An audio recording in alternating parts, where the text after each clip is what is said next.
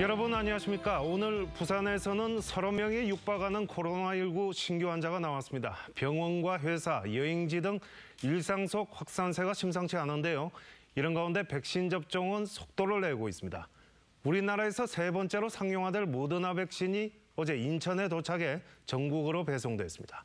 첫 소식은 현지호 기자가 보도합니다. 벨기에 브뤼셀 공항 화물 항공기에 백신을 싣는 작업이 한창입니다. 27,500명분의 모더나 백신입니다. 영하 20도 이하의 온도를 유지한 상태로 어제 우리나라에 도착해 전국으로 배송됐습니다. 아스트라제네카와 화이자에 이어 국내 세 번째 상용화 백신인데 먼저 30대 미만 의료기관 종사자들이 맞게 됩니다. 얀센 백신도 이번 주 도착합니다. 부산에서는 대상자의 21% 4만 8천여 명이 사전 예약을 마쳤습니다. 7월부터는 일반인 접종도 시작됩니다. 어르신들 백신 접종이 끝나고 나면 그 2분기 접종 대상자 중에서 어, 접종을 하지 못했던 30세 미만의 어, 대상자가 접종을 받게 됩니다. 어, 그리고 3분기에는 일반인들의 접종이 시작됩니다.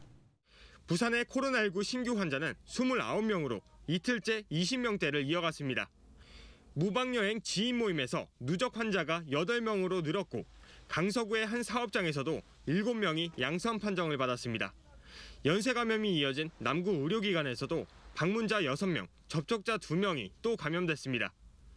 방역 수칙 위반 관련해서 조사를 같이 하고 있습니다만은 어, 해당 시설에 대해서는 지금 어, 내부 CCTV가 없는 관계로 어, 모두 진술을 통해서 조사를 하고 있는 상황입니다. 한편 부산에서 발생한 유증상자 한 명이 영국발 알파 변이 바이러스로 확인됐습니다.